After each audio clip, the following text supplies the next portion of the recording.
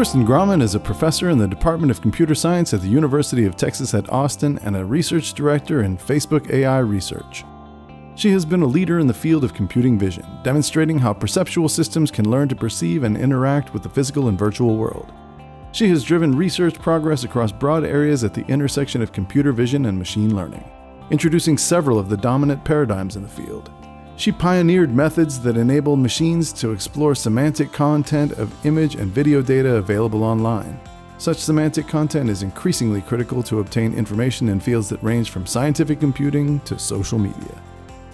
For contributions to object recognition, unsupervised domain adaptation, and visual search, we present the 2023 Edward J. McCluskey Technical Achievement Award to Kristen Grauman.